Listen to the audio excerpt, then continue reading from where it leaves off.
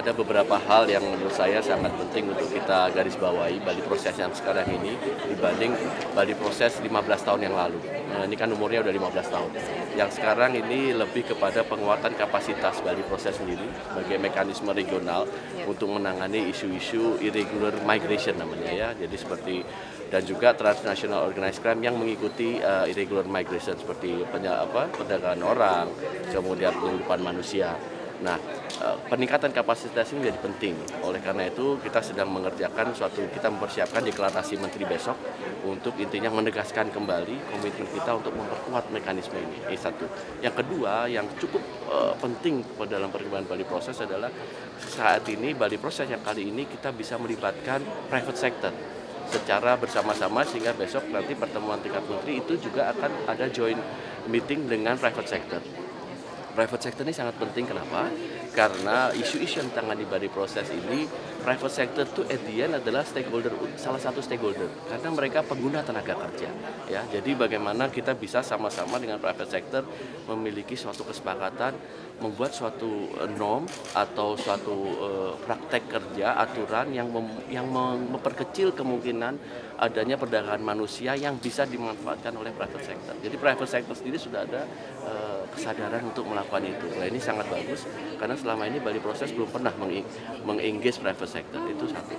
Tidak hanya private sector, kita juga mengengage juga think tank.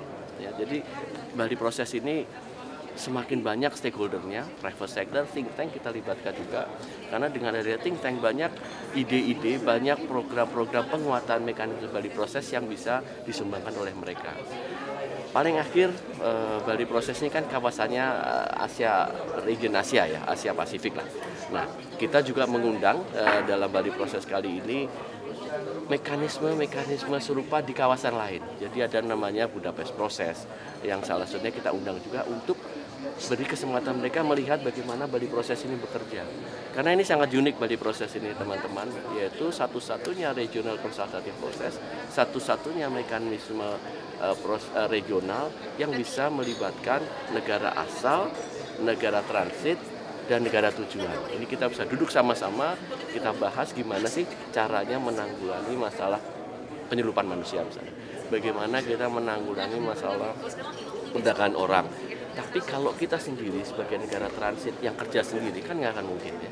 Jadi artinya sejak dari hulunya, sejak dari negara asal juga sudah bekerja sama dengan kita mengharmonisasikan peraturan-peraturan nasional di masing-masing negara yang memperkecil kemungkinan adanya tindak pidana uh, penyelundupan, tindak pidana perdagangan manusia. Ini intinya gitu ya dari proses dan 15 tahun Bali proses cukup banyak yang bisa diachieve baik dari segi mekanisme baik dari segi stakeholder baik dari segi isunya. Tapi sebagaimana diketahui isu ini kan nggak pernah selesai penyelundupan manusia perdagangan orang ini nggak akan selesai sama tuanya dengan umur kita juga ini. jadi mungkin yang paling kita utamakan adalah ke depan memperkuat memperkuat kerangka mekanisme kerjasama. Jangan lupa Bali proses ini juga ada limitasinya yaitu ini kan forum dialog forum policy dialog forum kerjasama yang tidak memiliki kekuatan misalnya kita putuskan sama-sama ada legally binding nggak ada.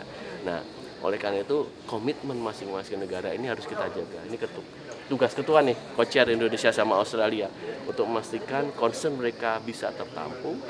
Dengan concern mereka tertampung ini akan memperkuat lagi komitmen mereka dan melihat benefitnya menjadi anggota Bali